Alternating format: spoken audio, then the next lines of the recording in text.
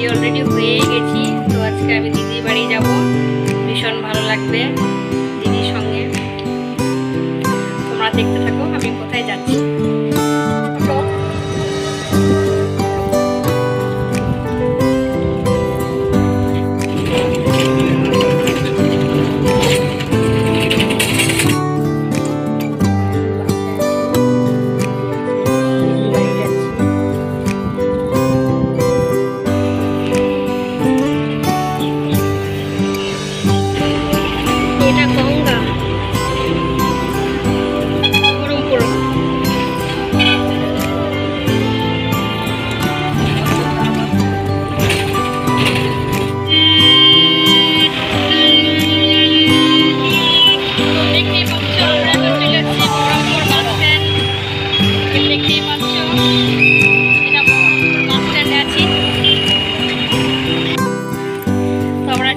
এসেছি বহরমপুর আজকে।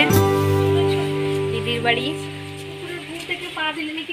দিদি আসছে।